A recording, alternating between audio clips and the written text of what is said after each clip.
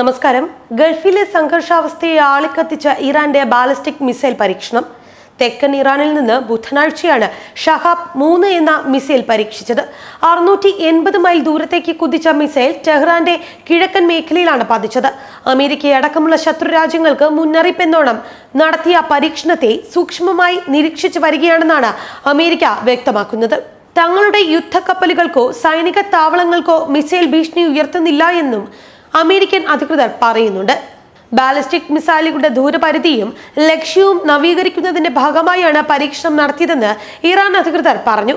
എന്നാൽ പരീക്ഷണം മേഖലയിലെ സംഘർഷത്തെ കൂടുതൽ വഷളാക്കിയെന്നാണ് നിരീക്ഷകരുടെ അഭിപ്രായം.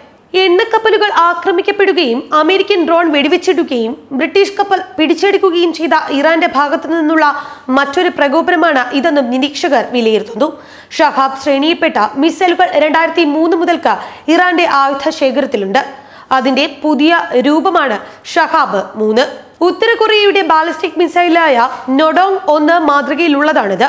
നിലവിലെ ദൂരപരിധി കണക്കിലെടുത്താൽ പടിഞ്ഞാറൻ യൂറോപ്പിനോ പശ്ചിമേഷ്യയിൽ തന്നെ ഇസ്രയേലിനോ ഭീഷണി ഉയർത്താൻ ഷഹാബ് മൂന്ന് മതിയാകില്ല. എന്നാൽ ആണവായുധം ഘടിപ്പിക്കാൻ കഴിയുന്ന മിസൈൽ യുദ്ധമുണ്ടായാൽ ഫലപ്രദമാകുമെന്നാണ് വിദഗ്ധരുടെ അഭിപ്രായം. ഇറാന്റെ രണ്ട് ഡ്രോണുകൾ വെടിവെച്ചിട്ടെന്ന് അമേരിക്ക അവകാശപ്പെട്ടെങ്കിലും അത് ഇറാൻ നിരാകരിച്ചിരുന്നു. അമേരിക്കൻ ഡ്രോൺ ഇറാൻ വെടിവെച്ചിട്ടതിന് പിന്നാലെ വ്യോമാക്രമണം തുടങ്ങാൻ U S president Donald Trump ഉത്തരവിട്ടിരുന്നു. എന്നാൽ തൊട്ടു പിന്നാലെ അത് അദ്ദേഹം പിൻവലിക്കുകയും ചെയ്തു. ഏറ്റവും ഒടുവിൽ ബ്രിട്ടീഷ് എണ്ണക്കപ്പലായ സ്റ്റെന ഇംപയറോ റവല്യൂഷണറി ഗാർഡുകളെ ഉപയോഗിച്ച് ഇറാൻ പിടിച്ചെടുക്കുകയും ചെയ്തിരുന്നു. സംഘർഷം ദിവസേന മൂർച്ഛിച്ചു വരുന്നതിനിടെയാണ് മിസൈൽ പരീക്ഷണത്തിലൂടെ അടുത്ത ഘട്ടത്തിന് ഇറാൻ തുടക്കമിട്ടിരിക്കുന്നത്.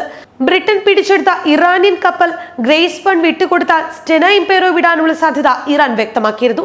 എന്നാൽ സിറിയയിലേക്ക് എണ്ണ കടത്തരുതെന്ന യൂറോപ്യൻ യൂണിയന്റെ കർശന നിർദ്ദേശം പാലിക്കാതെ കപ്പൽ വിട്ടുകൊടുക്കില്ല എന്നാണ് ബ്രിട്ടൻ തറപ്പിച്ചോ പറഞ്ഞിരിക്കുന്നത്.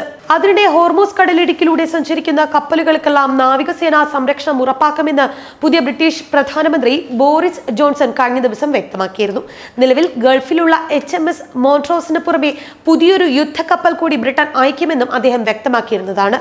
തെരേസ ഇറാൻ നയം ഒറ്റയടിക്ക് പൊളിച്ചെഴുതുന്നതായിരുന്നു ബോറിസ് ജോൺസന്റെ പുതിയ ഉത്തരവ്. ഹോർമോസ് കടലിടുക്ക് വഴി കടന്നുപോകുന്ന എല്ലാ ബ്രിട്ടീഷ് കപ്പലുകൾക്കും സുരക്ഷയൊരുക്കാൻ നാവികസേനയോട് നിർദ്ദേശിച്ചിട്ടുണ്ട്. ബ്രിട്ടീഷ് പ്രധാനമന്ത്രി തന്റെ മുൻഗാമി തെരേസ മേയുടെ ഇറാൻ നയം അധികാരത്തിലേറി ആദ്യ ദിനം തന്നെ അദ്ദേഹം തള്ളിയിരുന്നു.